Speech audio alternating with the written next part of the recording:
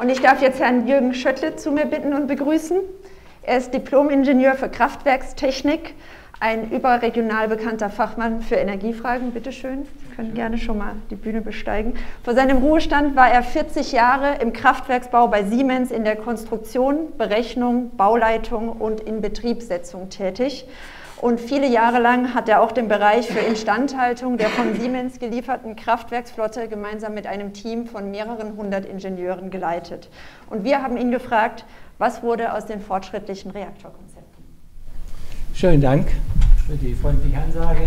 Meine Damen und Herren, ich möchte Sie zu dem Thema, was wurde aus den fortschrittlichen Reaktorkonzepten, ich Sie kurz informieren. Und zwar im Programm will ich Sie so durchführen, dass ich ein bisschen in die Vergangenheit gehe, was gebaut worden ist, insbesondere um auch zu zeigen, wie sich die Sicherheit und die Kosten verändert haben. Das sind wirtschaftliche Aspekte und zum Schluss äh, nochmal ein Beispiel. Was kostet es den Ersatz von den drei stillgelegten Kernkraftwerken, wenn wir die ersetzen gegen Wind, Sonne, CO2-frei, also mit Elektrolyse und mit Gaskraftwerken? Ja, ich fange jetzt an mit der Entwicklung Generation 1, 2, 3, 4, 3 Plus und nachher 4.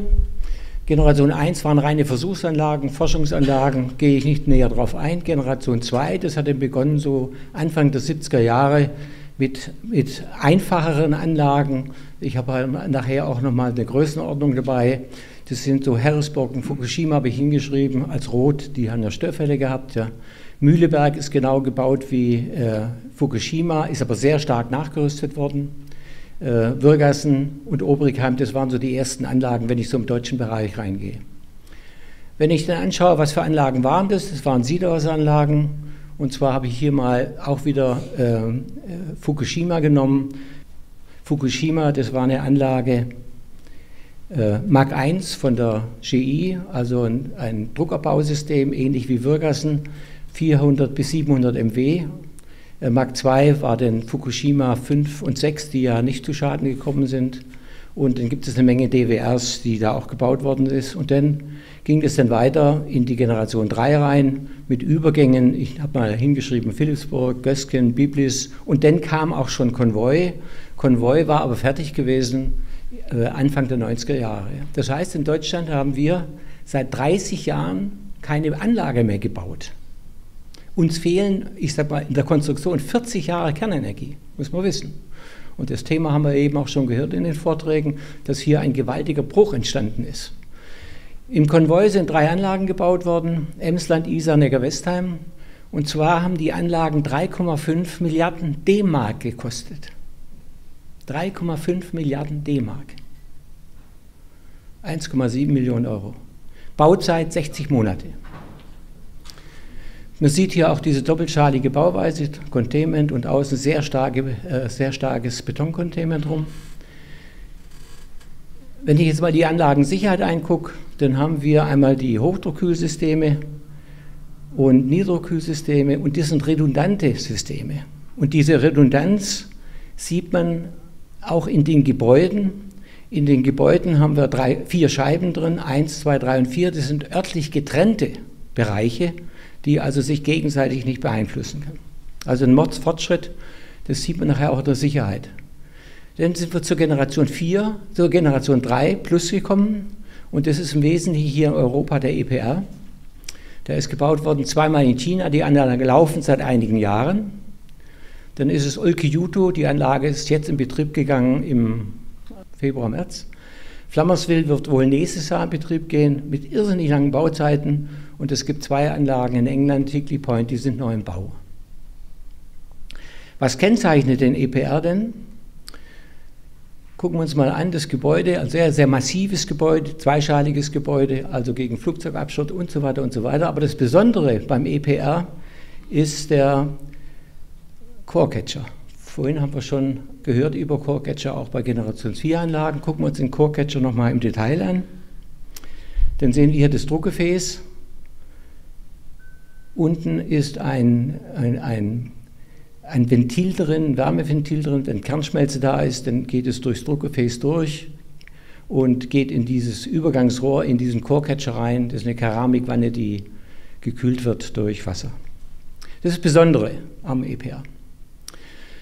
So, jetzt gibt es noch eine Generation 3 Plus mit passiven Notkühlsystemen. Haben wir auch schon mal eben gehört.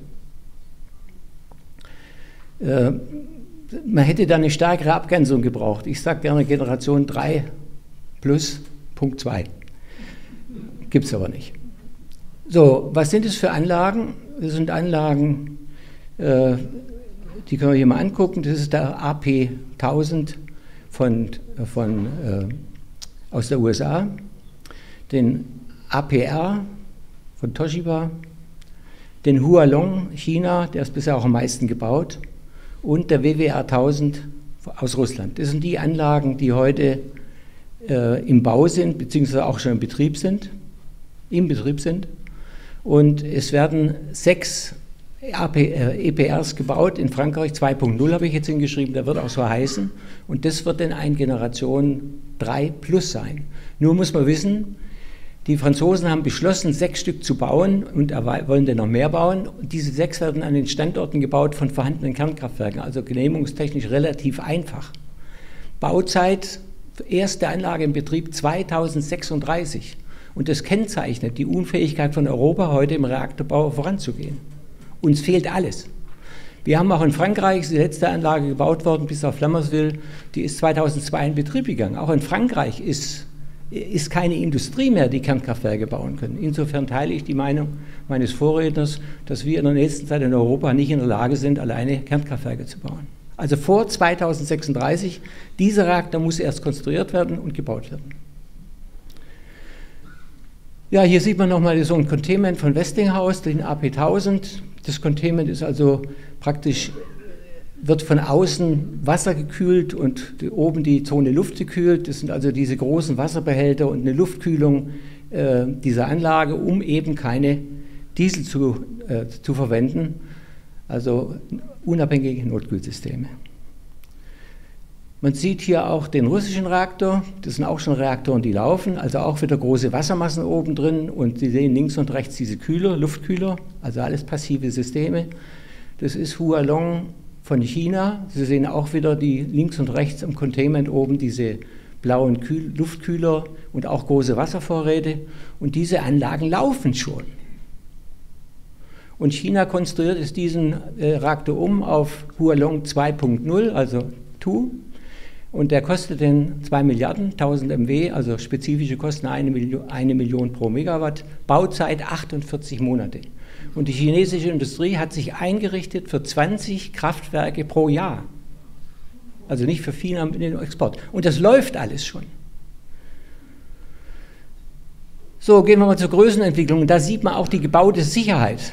Ganz links ist Fukushima, dann kommt Emsland und dann kommt der AP1000. Fukushima 400 MW, Emsland, also Konvoi 1600 MW und der, äh, das andere ist, der Samen ist es ein 1000 MW. Also Sie sehen schon, die, das sind unglaublich große Anlagen, wo irrsinnig viel Sicherheit eingebaut worden ist. Gucken wir uns mal die Sicherheit gegen schwere Unfälle an. Und hier sehen Sie eine Skala von 10 hoch minus 4 bis 10 hoch minus 8. Was heißt es? Alle, also bei 10 hoch minus 4 heißt es, alle 10.000 Jahre einen schweren Störfall. 10 hoch minus 8 heißt also alle 10 Millionen Jahre einen schweren Störfall. Und das wird ja gerechnet bei den Anlagen. Und Sie sehen, Fukushima war gewesen 5 mal 10 hoch minus 4. Das waren auch die Anlagen wie Mühleberg und so weiter. Die wurden aber nachgerüstet, genau wie alle deutschen Kernkraftwerke, wurden auch nachgerüstet auf ein höheres Niveau.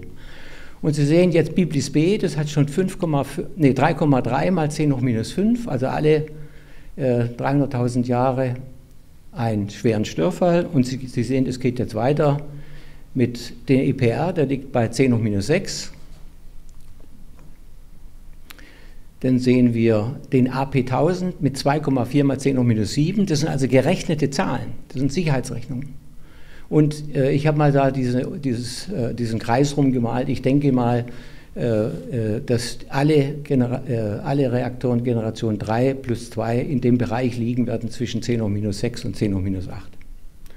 Und ich habe dann noch einen Punkt eingebaut, und zwar gab es in Deutschland mal eine eine SWR-Studie, also Fortsetzung des Reaktors von Gondremmingen, und die hat man gebracht auf 10 hoch minus 8, ja. Also alle 10 Millionen Jahre einen Unfall. 10, äh, alle 100 Millionen Jahre einen Unfall. So, also 2,4 mal 10 hoch minus 7 heißt alle 24 Millionen einen schweren Störfall. Da seht ihr schon, wie irrsinnig die Sicherheit hochgegangen ist. Ja, jetzt ein paar Mythen. Endlager, haben wir schon was darüber gehört. Es gibt ein fertiges Endlager, meine Damen und Herren. Das ist fertig gebaut. In Finnland, in, in, im Granit auf 500 Meter Tiefe. Horizontale Einlagerung. Es gibt, das Endlagerkonzept ist in, in, in Finnland, es ist eine Kupferröhre, denn, denn die Brennelemente in diesem Strukturmaterial drin. Einlagerung im nächsten Jahr. Also dieser Mythos, es gibt keine Endlager, ein völliger blödsinniger Kram. Wir wollen die nicht, um die Kernenergie zu verhindern. Laständerungsgeschwindigkeit, haben wir eben auch schon was vorgehört. Da ist es so, da machen die Kernenergie macht 63 MW pro Minute. Eine Gasturbine 38, ein Kohlekraftwerk 28, also erheblich höher als die fossilen Anlagen, die thermischen Anlagen. Ein Mythos. Immer wieder lese ich sowas. Kühlwasser im Sommer, völliger Blödsinn. Das ist eine Frage der Auslegung der Anlage. Ich meine, wenn Sie halt eben wenig Kühlwasser haben, müssen Sie halt eine Rückkühlung machen, einen Kühlturm bauen. Der kostet natürlich Energie, kostet auch Geld, aber ist überhaupt kein Thema, äh, Kernenergie zu bauen. Äh, wir haben Riesenanlagen gebaut in Südafrika, also Kohlekraftwerke, die genauso Kühlwasser brauchen, ja, ins Trockene mit dem Trockenkühlturm, ohne Wasser. Geht, ist nur eine Frage der Auslegung. Und wenn in Frankreich halt im Sommer weniger Last notwendig ist, dann legen sie halt eben nicht aus gegen äh, Kühlwassergeringe äh, im, im Sommer. Versicherbarkeit. Alle deutschen Kernkraftwerke waren versichert. Haftpflichtversicherung mit zweieinhalb Millionen, mit Milliarden. Und wenn Sie nach heutigen neuen Gesichtspunkten rechnen würden, diese alte Rechnung, die gemacht worden ist, die man manchmal hört, die geht davon aus, von der Sicherheit, alle 1000 Jahre ein schwerer Unfall mit 4 Millionen, mit äh, 1,7 Millionen Toten und pro Toten 4, 4 Millionen. Da kommen Sie auf irrsinnige Zahlen und das sind völlig blödsinnige Zahlen. Wenn Sie heute mit den neuen Zahlen rechnen, müssten Sie, wenn Sie eine Versicherung machen wie im Kfz-Bereich, etwa 5 Cent pro Kilowattstunde rechnen als Versicherungskosten. Dann hätten Sie eine Vollversicherung. So, äh, ich habe hier spezifische Herstellkosten und die will ich nicht mal einzelne durchgehen und deswegen habe ich da ein bisschen. Konvoi hat uns immer bezogen auf Mio pro Megawatt. Das ist eine ganz wesentliche Zahl, die nachher auch noch kommt. Also Konvoi hat gekostet 0,9 Millionen pro Megawatt. EPR 8 durch diese irrsinnigen Bauzeiten, das waren letztlich alles Prototypanlagen. Das war keine Serie, die war nicht, äh, äh die war nicht äh, als Serie geplant. Dann sieht man die Generation 3, China kostet 2 Millionen pro Megawatt und die Generation 3 plus äh, Reaktoren, die heute vergeben werden, die liegen so bei 5. Und ich habe hier eine Zahl in der Mitte hingeschrieben, EPA2 skaliert. Wenn wir da also sagen, wir bauen pro Jahr drei Stück oder sowas ähnliches, dann wird man sicher mit Kosten zurechtkommen von 4 Millionen pro Megawatt. So, gucken wir uns mal spezifische Investitionskosten von Energieerzeugungsanlagen an. Da sehen wir Solar, Dach kostet auch 1,5 Millionen pro Megawatt. Wind Offshore 1, Onshore 1,5. Die Zahlen steigen momentan massiv, da hat der Herr Fahrenhold recht. Wind Offshore 4, sehr teuer. Gasturbine 05, die neue Gasturbine, die in Leipzig gebaut worden ist, H2-ready, kostet 1,5 Millionen. Äh, Kohlekraftbau und dann Europa heute 8, wie ich gesagt habe, das sind die Zahlen, die Sie hören von Olke Jutu und von Flammeril. Und Europa skaliert 4. Wenn ich jetzt die Volllaststunden rechne, die Laufzeit, wie lange die Anlagen laufen, komme ich auf eine bestimmte Megawattstundenanzahl pro Laufzeit. Und jetzt nehme ich mal nur die Investitionskosten pro Megawattstunde oder Kilowattstunde in dem Fall. Weil ich muss ja nicht die Leistung rechnen, sondern die Arbeit, die entsteht. Und da liege ich bei Sonne etwa bei 8 Cent, Wind wird hochgehen auf 5 durch die Kostensteigerung und man sieht, Kernenergie heute mit den teuren Anlagen ist der, der Anteil der spezifischen Investitionskosten nur 1,6 Cent und bei skalierten Anlagen wäre 0,8 Cent. Also ist überhaupt kein Thema für die Zukunft. So, wenn ich jetzt das mal in Stromgestehungskosten reinrechne, also mit den Sachen, die, die ich in meinen Tabellen hier habe, dann komme ich also bei Solar und Wind, Wind wird steigen, Kohle, da ist CO2-Zertifikate äh, nicht mit drin und Europa skaliert liege ich etwa bei 6, bei 6 Cent. Aber das ist alles Blödsinn, was hier da steht. Das ist nicht die Realität. Sonne und Wind ist volatil. Das ist überhaupt nicht vergleichbar. Die Zahlen durften so gar nicht auf der Folie stehen. Wenn ich jetzt die, die Speicherkosten dazu rechne, dann komme ich auf das Fünffache der Erzeugungskosten von, von Wind und Sonne. So, und damit ist, äh, ist völlig blödsinnig. Auch der, der Preis ist blödsinnig. Äh, auch bei Sonne, also, weil, weil einfach der Vergleich, das sind nicht Äpfel mit Birnen, das sind Äpfel mit Schuhen. So, gucken wir uns mal die Kostenstruktur von Kernkraftwerken an, am Beispiel von Gösgen. Und da sieht man auch wieder Abschreibungen. Äh, das sind etwa diese, äh, diese 0,8 äh, Cent drin. Brennstoff, wie schon gesagt, etwa 0,5 Cent. Der fertige Brennstoff, Sie hatten vorhin gesprochen von, von reinen Urankosten. Und äh, Sie sehen, die liegen bei 4,3 Cent. Und so ähnlich liegt auch Olkiluoto in Finnland. Übrigens hat Finnland waren die Baukosten 13 Milliarden. Der Kunde hat aber nur drei bezahlt. Wissen Sie, heute hat Siemens gibt jetzt 4,5 Milliarden Verluste raus für Windanlagen. Ja? Die werden aber nicht gerechnet in die Kosten von Windanlagen. Die werden, das macht man nur bei der Kernenergie. Ja? So, Erntefaktoren, hier wird mal verglichen die hineingesteckte Arbeit auf die, die man bekommt. Und, und das ist eine der guten Folien. Man sieht hier den Erntefaktor mit Speicher und ohne Speicher. Und Sie sehen schon im unteren Bereich, wie gering der Erntefaktor ist. Äh, vielleicht Erntefaktor kurz erklärt für diejenigen, die keine Landwirtschaft betreiben. Wenn Sie eine Kartoffel im Boden tun und kriegen nur eine raus, haben Sie einen Erntefaktor von 1, lohnt sich überhaupt nicht, wird kein Mensch machen. Ja. Und das, ist, das sehen Sie ja bei Wind und Sonne. Erntefaktoren mit Speicher ja, ist sinnlos. Und äh, wenn Sie 8 rauskriegen, dann lohnt sich das etwa. Das ist etwa so, was man bekommt bei einer Kartoffel. Und Sie sehen hier, nuklear geht es bis auf 75 hoch, also auch wieder Faktoren besser. Und wenn Sie dann die G4-Reaktoren dran, dran schreiben, dann geht es hoch bis 2000. Materialaufwand, Sie sehen immer das gleiche Bild. Ein Riesenaufwand bei Solar, geringer Aufwand bei Nuklear. Gucken Sie ganz links und ganz rechts. Ja. Und das ist immer der Faktor 1 bis 10, was diese Anlagen teurer sind. Ja. Und wenn Sie die nächste Folie aufmachen, Materialbedarf, und die Folien sind auch falsch, die, die berüchtigen auch keinen Speicher ohne Speicher. Ist schon völlig blödsinnig. Und Sie sehen hier auch wieder Materialaufwand bei Photovoltaik äh, und zu Kernkraft her. Das ist immer der Faktor 1 bis 10, wo Nuklearanlagen günstiger sind als, äh, fossile, äh, als Sonne und Wind. So, jetzt komme ich nochmal so ein Schmankerl, Ersatzkosten für drei Kernkraftwerke, aber wirklich gerechnet CO2-frei. Also wir machen da aus Strom, Wind und Sonne, nur die sind ausbaubar, machen wir jetzt Wasserstoff und der Wasserstrom wird dann verstromt zu den Zeiten, wo man den Strom braucht. Also wirklich ohne jede fossile Art. Und wenn wir das durchrechnen, das sind dann die 3 mal 1400 MW, die wir zum 15.04. abgestellt haben, CO2-frei. Sie brauchen dafür 6000 Windkraftanlagen, etwa mit 3 MW. Sie brauchen 1,4 Millionen Dachanlagen mit 10 kW Peak.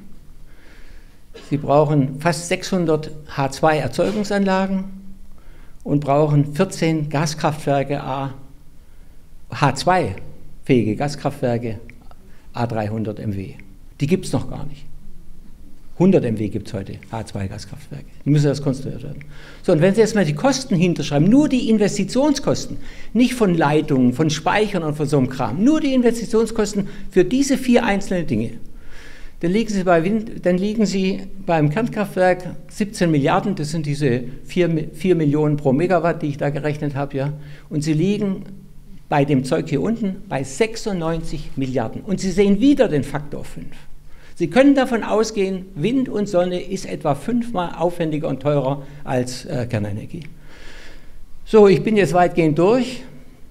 Wenn wir so weitermachen wie bisher, werden Energiekosten, Versorgungssicherheit, Deindustrialisierung und Wohlstandsverlust die zukünftigen Herausforderungen sein. Eine Energiewende ohne einen Mix mit neuen Technologien und wie fortgeschrittene Reaktoren und Fusionsanlagen wird langfristig nicht gelingen. Und jetzt komme ich zum Schluss, da habe ich immer noch so eine kleine Folie bei. Das ist heute, äh, das ist unsere Zukunft und natürlich G2. Das ist kein totes Pferd. Also, ich bedanke mich ganz herzlich für die Aufmerksamkeit.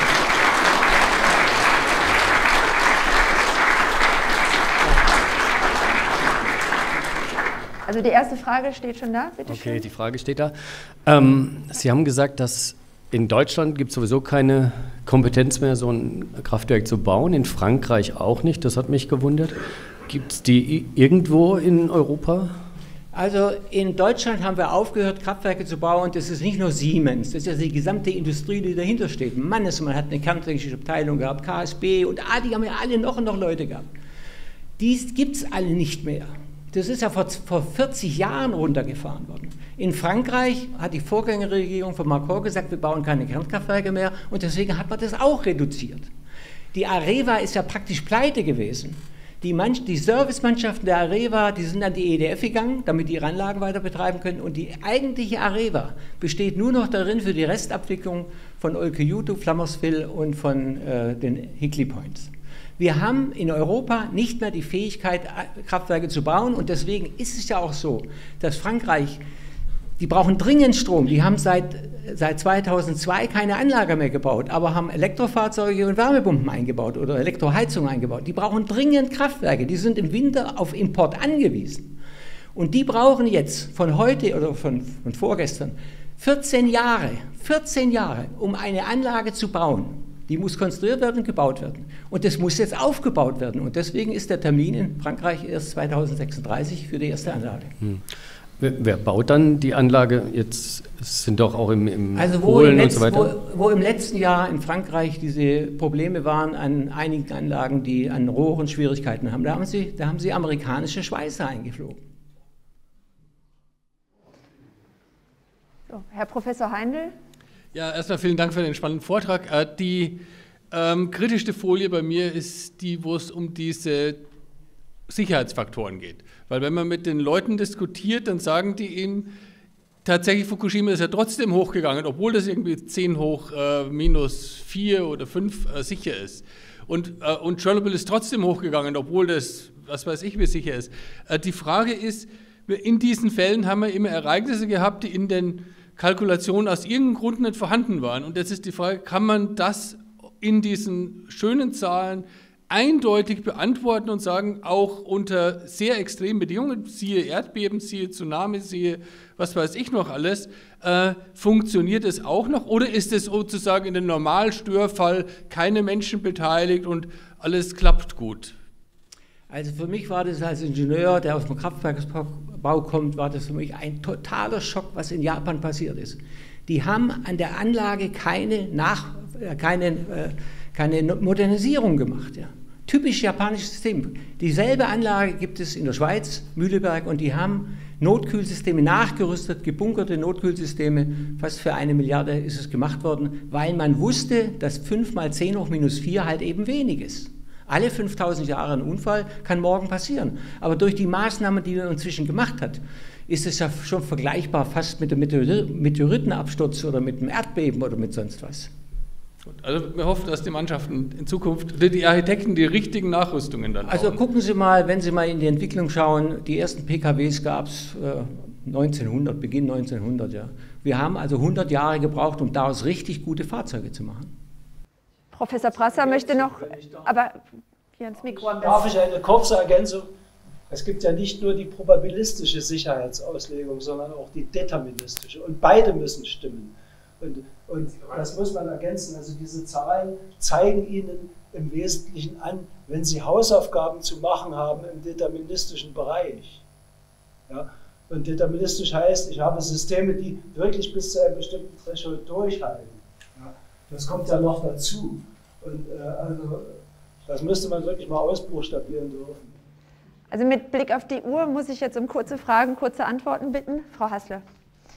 Vielen Dank für den Vortrag, wirklich super. Äh, meine Frage schließt an die erste Frage an. Ähm, Professor Brasser und Sie haben jetzt beide gesagt, dass wir nicht die Kompetenz besitzen, in ganz Europa Kernkraftwerke zu bauen. Jetzt sagen, die, sagen wir natürlich in Deutschland, wir brauchen aufgrund der Energiewende Wind und Sonne und als Backup-Kraftwerke eben Gaskraftwerke. Und meine Frage wäre jetzt, haben wir dann überhaupt die, also die Kompetenz, diese Gaskraftwerke zu bauen? Oder wie sieht es da aus? Ist es da ein bisschen anders? Oder kommt es dann auch wieder so, dass dann China wieder kommt? Oder ja, wie soll es da funktionieren? Also ich meine, Sie sehen ja in der Entwicklung Photovoltaik und auch Wind, dass wir nicht mehr in der Lage sind, sowas äh, auch kostenmäßig zu bauen. Ja? Und äh, ein großer Hersteller ist Siemens für Gasturbinen, aber die verlagern auch ihre Entwicklung und ihre äh, Fertigung in die USA. Ja? Also wir, wir, verlieren immer weiter. Ja? Und das ist jetzt die Aufgabe, wenn wir mal sagen, wir wollen in eine andere Technologie rein, mal hier was aufzubauen. Kerntechnische Schulen gibt es da schon sehr ewig nicht mehr. Das ist ein wirkliches Problem.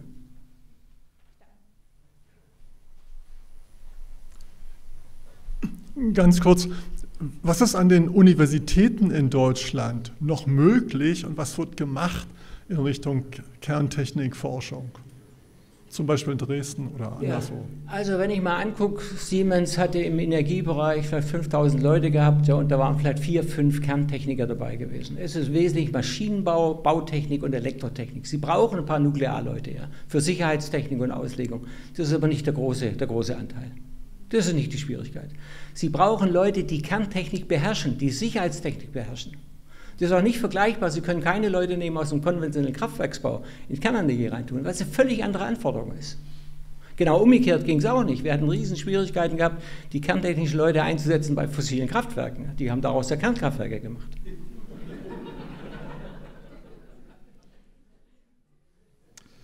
Mein Name ist Frank Apel, Herr Schöttler, 27 Jahre war ich auch in Siemens, konventionell und nuklear. Ich möchte an der Stelle ganz klar sagen, wir haben die Kompetenz, in Europa Kernkraftwerke zu bauen auch in Frankreich und definitiv gibt es auch in Deutschland noch eine Industrie, die da beteiligt sein wird. Also das können wir gerne mal bilateral besprechen, aber wir sollten an der Stelle zuversichtlich reinschauen. Wir bekommen das in Europa gemeinsam hin und nach Deutschland wird eine Rolle spielen können. Dankeschön. Und ihr,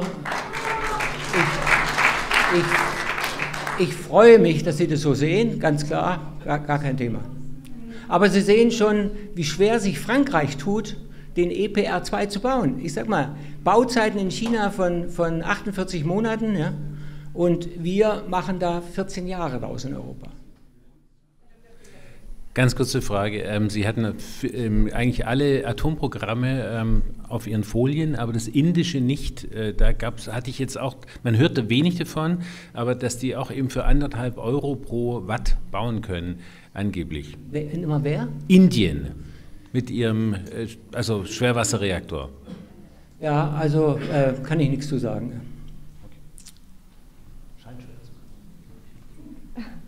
Gut, da hinten sehe ich noch eine Frage, bitteschön. Christoph Bartel, Nuklearia. Ähm, diesem Pessimismus, dass wir in Europa nicht in der Lage sind, das zu tun, ähm, möchte ich entgegenhalten das Beispiel ähm, der Vereinigten Arabischen Emirate ähm, die ja sich zunächst mal als, ähm, als, als Role Model für den, Ein, für den Einsatz von erneuerbaren Energien in Wüstengebieten angeboten haben. Master City ist da gegründet worden. Unser Solarpapst Herbert Scheer war da sehr aktiv.